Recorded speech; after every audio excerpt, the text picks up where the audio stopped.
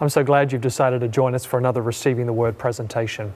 I'd like to invite you to go to our website to receive more messages at www.saccentral.org. Click on the Media Resources tab and you'll find everything that you need right there. But for now, we have a presentation just for you. So make sure you've got your Bible in hand as we go live now to another timely Bible message. Number six, the giving of the Israelites included both material goods and services. Uh, two things, essential elements, were required for the construction of the sanctuary goods and services.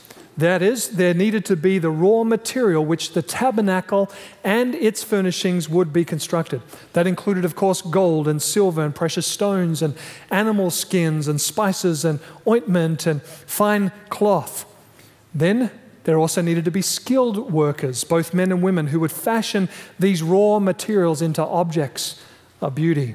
Some of those who gave to the tabernacle gave of their goods, while others gave of their skilled abilities to create a place that was great in beauty and worth. And so, two things were needed to construct goods and services. And lastly, number seven, the contributions of the Israelites in, it, when the call came for them to build the sanctuary, the contributions of the Israelites were of the highest quality. They're of the highest quality. The tabernacle was to be of such high quality and craftsmanship that it would befit the God who would dwell within it. Isn't that what God said in Exodus chapter 25, verse 8? Make me a sanctuary that I might dwell among them. Thus, the material used in the building were the finest that were available. So too were the craftsmen. They too were to create intricate and beautiful works of art within the tabernacle. God was given the finest uh, men men had to offer and all the finest things they had to offer, whether they were goods or whether they were services or skills. God was given first place. And so here are the seven things that we can learn from the children of Israel in their giving to the construction of the tabernacle. They gave voluntarily, they gave willingly. No one had to coerce them, no one had to twist their arm. They gave willingly, they gave munificently, they gave recognizing that it was God who was going to dwell in this place. They gave generously, more than generously. Everyone gave, not uh, what the burden wasn't on one or two or ten people. They gave what they could, and they were to give both goods and services. It's interesting because every now and then I run into individuals who, uh, who give of their time for the work of God.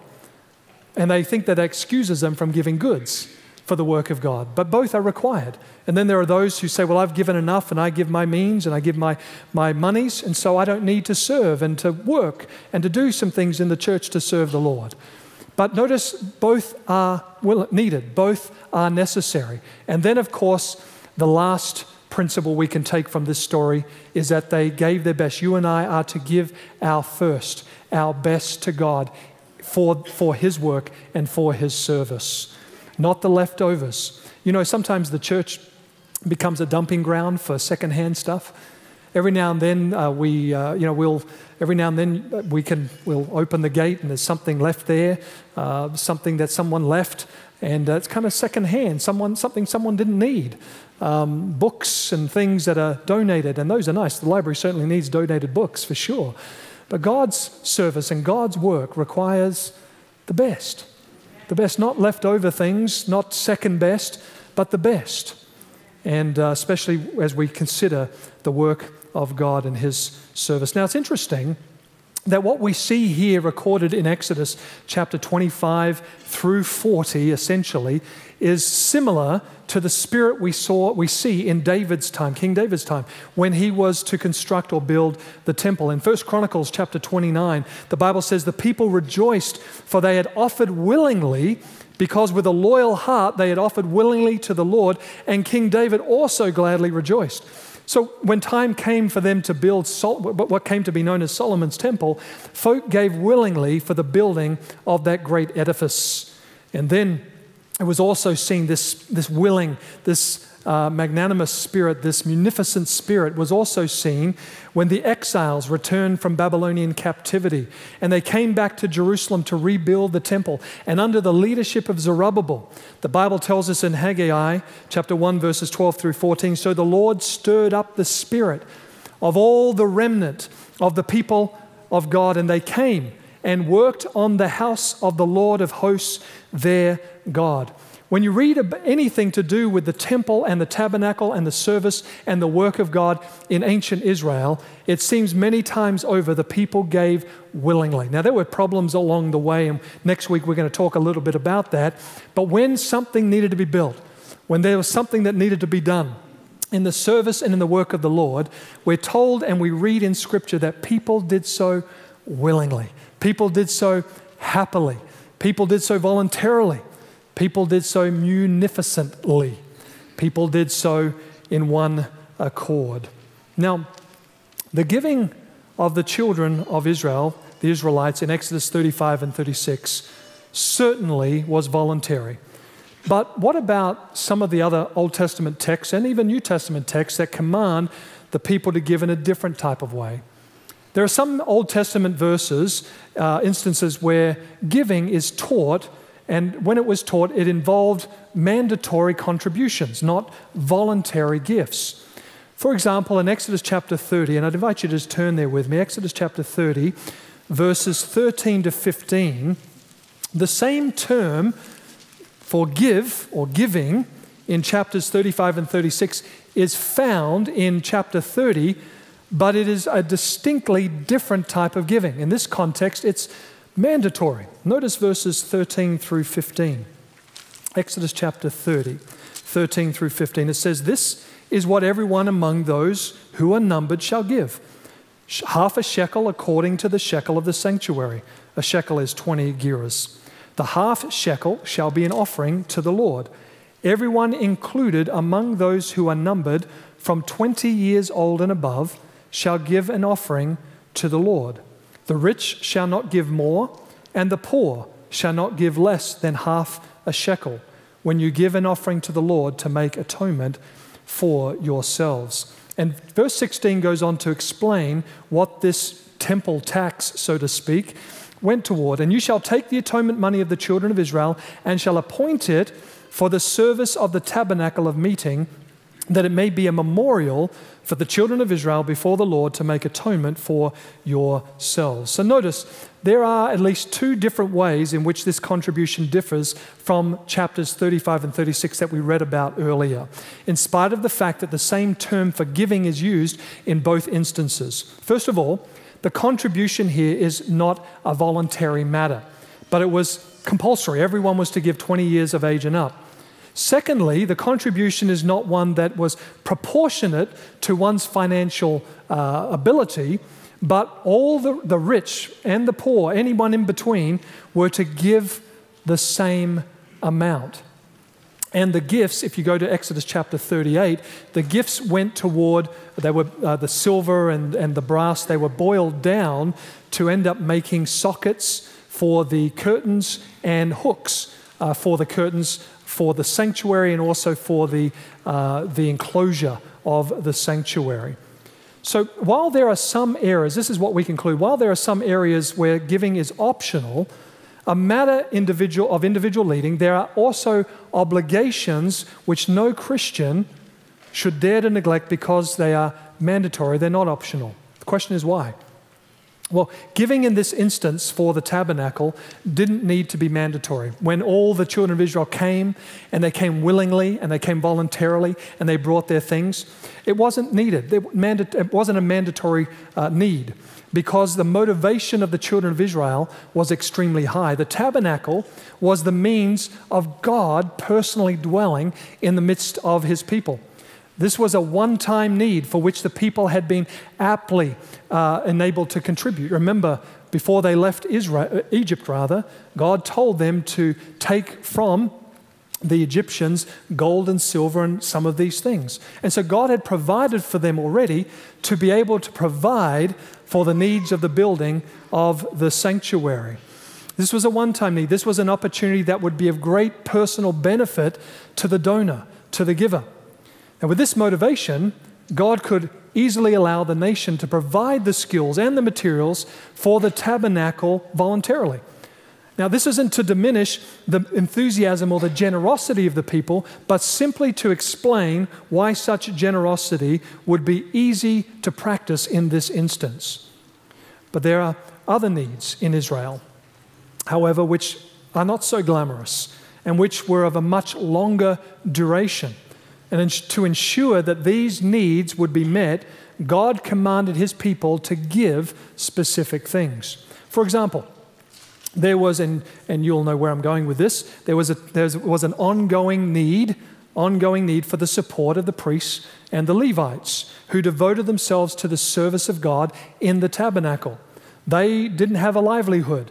They didn't have, uh, weren't given property in the, in the land of Canaan. They weren't to uh, grow crops and weren't to take care of uh, livestock. They were to care for the services of the sanctuary. They were to care for the spiritual needs of God's people. And so, how were they to be supported? They were to be supported through the tithe. That's right.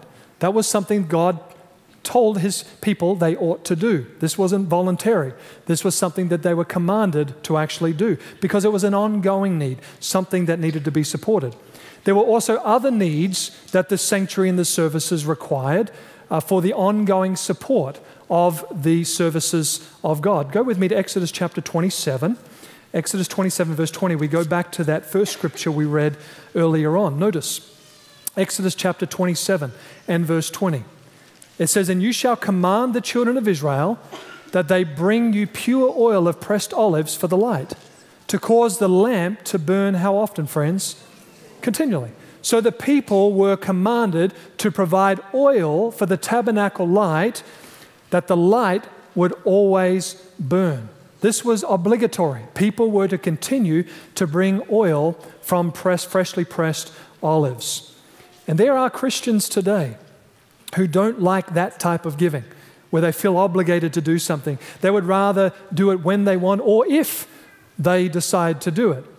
In the name of New Testament liberty, Christians tend to give more by impulse and freedom. And all too often, some of these individuals fall for gullible, uh, some of these folk are uh, gullible saints, I should say, given, uh, to, given to uh, respond to subtle or not so subtle, persuasive techniques of some unscrupulous uh, huckster that one might be listening to on TV and just give out of spontaneity. Because after all, if you don't give, a financial crisis is going to come to you. Is it, that is what's told. And so you better give to this ministry or to my ministry or, or whatever. That's what is told often. Consistency in giving is also not very evident uh, and seen in the, uh, in the churches. Consistency in giving is, is too seldom uh, evident in individual giving. We can see the results in lots of churches and ministries. For example, the, uh, the income of some months, let's take December for example, which is the tax deductible gift time, is generally high, while other times, for example, the summer months, when folk go on vacations, falls off significantly. And so instead of seeing a consistent giving trend in the church, it is during the summer months down, and then toward the end of the year it comes up high, especially the month of December, because that's the tax deductible gift time. Meanwhile, while giving va- vacillates radically, financial needs and obligations are always needed. And so the ministry of the church often hurts and often struggles for want of means. Sometimes the saints are fickle in their giving. Most of us would rather designate our giving to projects that capture our imagination or give the appearance of something significance than just simply paying the mortgage or paying the light bill or the electric bill of the church. We would rather support prominent and visible individuals rather than those with quiet, substantial, unseen ministries. Rather than giving consistently to the general fund, Church folk generally divert their gifts to one cause or another, which can create financial havoc for our church treasury team. Can I get an amen out there, brother treasurer? People include, people including Christians, are eager to create, but not always eager to maintain. Not always eager to maintain. Looking at giving in another way, people are much more inclined to give towards something that they can see, something that's tangible, such as a new building project, than they were to give more, to, more abstract needs like operational expenses, paying for the heating bill or the air conditioning bill. Now, this is certainly inconsistent when we remember that faith focuses on those things that are not seen versus those things that are seen. Why is it then that we can say that we trust in what we don't see, but we won't give to anything that we can't see? What am I suggesting? Simply this we should delight in those opportunities to give, which might appear to be a little more exciting and a little more dramatic or a little more obviously significant. On the other hand, we must be faithful. We must be faithful in giving to the more mundane needs that must be met in the cause and the work of God. And these obligations may not be a delight as much as they are a duty.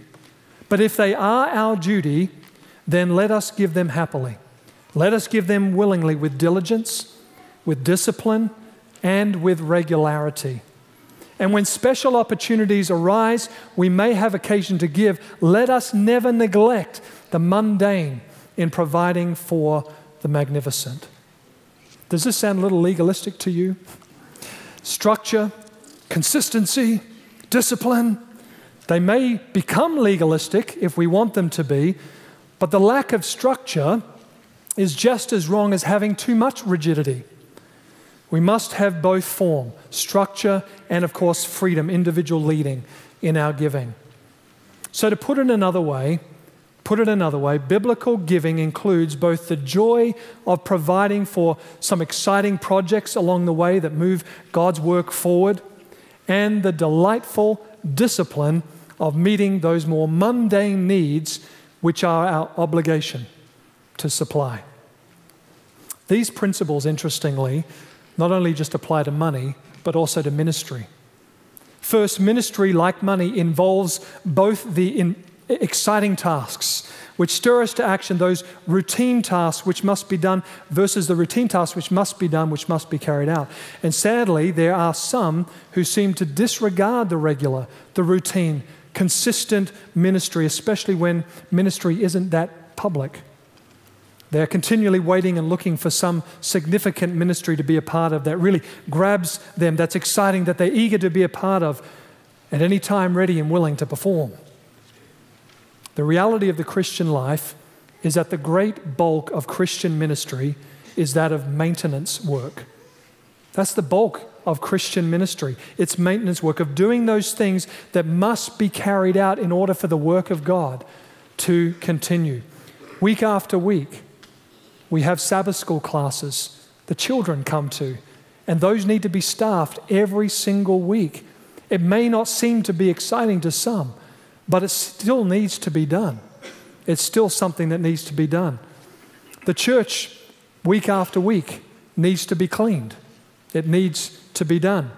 Week after week, the bills still need to be paid so that we can worship, so that we can use this place as a, a, a center of training for our membership, uh, for evangelism, and for ministry toward and for our community. There are some of those mundane things that just still need to be done. These things we are obligated to do.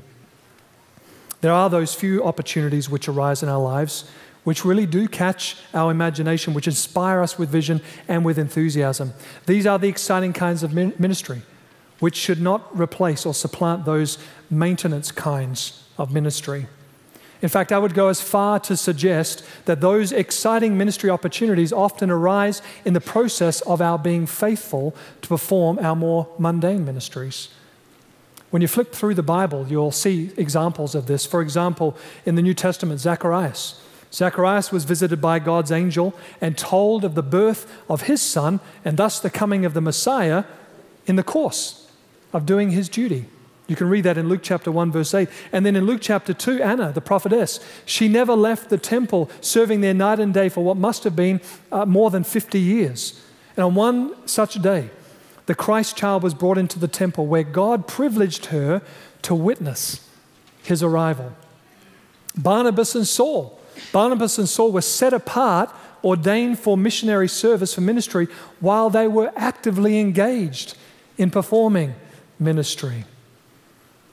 And so, some of the exciting ministry opportunities often arise in the middle of our faithfulness to perform some of the more mundane duties. Secondly, money, money and ministry are related in that proving ourselves faithful in the little things of money is often the test that God requires us to pass before He'll give us greater responsibilities and opportunities. We're told in Luke chapter 16, verses 10 through 12 He who is faithful in what is least is faithful also in much. And who is unjust in what is least is unjust also in much. Therefore, if you have not been faithful in the unrighteous mammon, who will commit to your trust the true riches? And if you have not been faithful in what is another man's, who will give you what is your own? Now, we're going to come back to the verse we started with in Exodus chapter 27 and verse 20. We're going to have it up on the screen for you. And it, the context of this statement um, is taken from the book Testimonies to the Churches, volume 9, page 248. I'd like to share with you how Sister White, Ellen White, applies this verse about the oil uh, being constantly provided so that the light might always burn in the sanctuary. Notice, the Lord instructed Moses for Israel, and now she quotes Exodus 27, verse 20 Thou shalt command the children of Israel that they bring thee pure oil olive beaten for the light to cause the lamp to burn always. Now, notice how she makes the application. This was to be a what, friends? Continual offering that the house of God might be properly supplied with that which was necessary for its service. She doesn't end there. Notice she closes by saying, His people today are to remember that the house of worship is the Lord's property and that it is to be scrupulously cared for. I don't mean to take away from the importance of the moment here, but I want you to notice here just as God's people brought the, were to bring the olive, the oil, olive oil, so that the light might continue to burn in the sanctuary of old, so today, and that was a continual offering. So today, God's people are to care for God's church, His structure, His building, and is to be scrupulously cared for by His people. There is a point to all of what I've been saying. There is a point because we're coming to the end of a year. And if you've been paying attention to the church ministry budget item, you'll notice that we are about $29,000 short of our budget for this year. Now, God bless you for giving, all that have been giving faithfully and giving what you can. But this is December. And we need to get to the end of the year. And we not, don't need to just get to the end of the year, we want to surpass our goal, our, our budgetary goal. And so next week, as is our custom around here, we collect a, an annual love offering. It's considered to be the big gift, the big offering of the year. Right after the services, actually during the services, but right after the message, next week there'll be baskets up front. And uh, some of you have already received my letter in the mail talking a little bit about it. And you'll be given the opportunity to come forward and give something, something bigger, something more grander, something more glorious. We're encouraging next week and through till the end of this year a magnificent gift, a, ge- a more than generous gift from God's people. So we can not only get through this year, but we can take care of those things that need to be taken care of to get us through to the end of the year and into next year. God's work, God's house, God's purpose, His plan for His people is that these things be taken care of. As we give faithfully and as we give consistently and as we give generously, munificently, there'll be more than enough to go around to share for God's work and for His place, for His building. We have some very exciting and interesting things we're going to be sharing with you also in an upcoming business meeting next year the third Wednesday in January, and we would love to see everyone come out. Very important things. We're going to share with you a presentation, and it has to do with God's house, it has to do with God's work, and uh, what we need to do here and in Sacramento. And uh, we have some very exciting and some very important things that we need to share with you, and that we need your input and your blessing on. And so here we are, friends, at the end of the year. Here we are at the end of the year, and in our desire to do what is a delight, let us not neglect our greater responsibility to do our duty. In our desire to be fulfilled, let us never forget our greater obligation to be faithful. In our occasion to give, in giving to majestic causes, let us prioritize on the ongoing duty to maintain the work that God is performing in our, in Sacramento Central's very midst. You know, Desmond Doss became a hero on the battlefield, not because one day he went out there and decided to be a hero. Desmond Doss didn't become an example for others to emulate and to follow, not because one day in the heat of the war he decided that he wanted to. Desmond Doss brought help and he brought hope and health and healing and happiness to others, not because one day in the midst of the tragedy he figured out that he should do it. Desmond Doss was one was who he was on the battlefield because Desmond Doss practiced faithfulness in, in regular, more mundane things of everyday life. What he practiced behind closed doors when no one could see him, he practiced on the battlefield where everybody could see him. And God is inviting us to be faithful in the smaller, in the littler things. Not be so drawn to the more magnificent and more compelling ministries, but to take care. Yes, you can give, but to take care of the needs of home, to take care of God's house right here in Sacramento Central Church, to be faithful in your giving, to be faithful in your sharing of what God has entrusted to you. I want to share with you a verse from the Bible. God loves a cheerful giver. 2 Corinthians chapter 9 verse 7. When you give and you give to the Lord, always give so cheerfully He's given us so much, He's granted us so many things, and the least we can do is to give heartily, to give our best, to give our all, to give everything we can for God and for His cause. What do you say? Amen. We're so glad you decided to tune in to today's Receiving the Word program. If you have a special prayer request, we would be happy to pray about it for you. To discover more about the Bible through our free online Bible studies or to listen to more life changing Bible messages, go to saccentral.org and click on the Media Resources tab. If you've been blessed or encouraged by our ministry and God impresses you to support us, then visit our website or write to us at 6045 Camellia Avenue, Sacramento, California 95819. Always gladly receive God's Word.